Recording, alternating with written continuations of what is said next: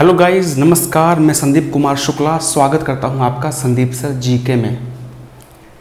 मैं अपने दिल का तेरे दिल से करार कर दूँ मतलब बॉन्ड साइन कर लूँ। मैं अपने दिल का तेरे दिल से करार कर लूँ, दे इजाज़त तो प्यार का इजहार कर लूँ। बिल्कुल, मोहब्बत बहुत तगड़ी वाली चल रही है मतलब। दोनों तरह से हाँ लोहा गर्म है। ठीक है? और इजहार कैसे करूँगा? इजहार करने का तरीका होगा कि मान लो फॉर एग्ज़ाम्पल उस लड़की का नाम है शांति। कैसा है? अच्छा नाम है, ठीक है। शांति पुराना नाम नहीं, शांति मतलब पीस तो मैं बोलूँगा कि बोल शांति।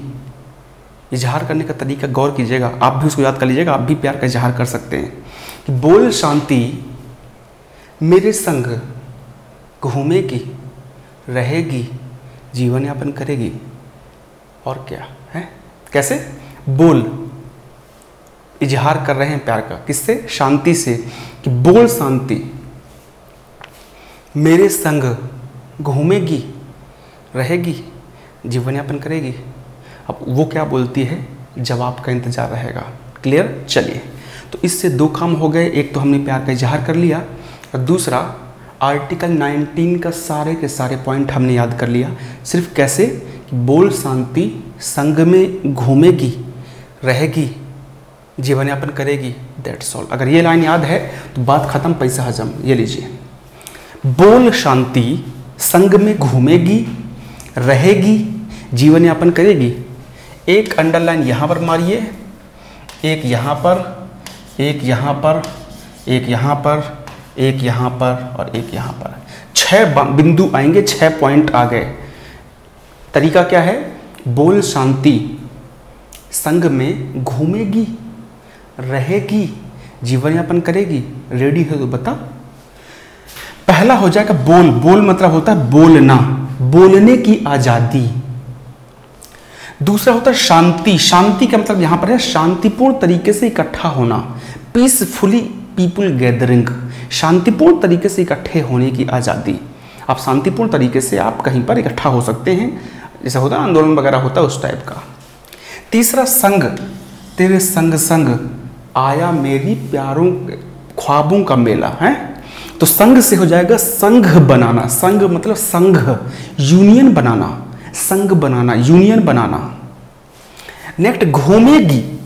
घूमेगी मतलब घूमना, विचरण करना, ट्रेवल करना। देश के अंदर की बात चल रही है। नेक्स्ट, रहेगी। रहेगी मतलब रहना, निवास करना, घर बनाना। जीवन यापन जीवन यापन करना, व्यापार करना, नौकरी करना। छह बातें एक लाइन से खत्म हो गई क्लियर है? बोल शांति, संग में घूमेगी, रहेगी और जीवन यापन करेगी। अगर इतना याद हो गया तो बस हो गया खत्म बात। पहला पॉइंट क्या था? बोल। बोल मतलब article 19 one A. Article 19 one A बोलता है बोलने की आज़ादी। आप कहो तो यहीं पे लिख देता हूँ, यहीं पे लिख देता हूँ ना? आर्टिकल 19 वन ए, बोलने की आज़ादी। Freedom of speech article 19 one B शांतिपूर्ण तरीके से इकट्ठा होने की आज़ादी। शांतिपूर्ण तरीके से आप इकट्ठा हो सकते हैं। पीपुल गैदरिंग पीसफुली ये है आर्टिकल 19 वन सी सी सी संघ संघ बनाना यूनियन बनाना।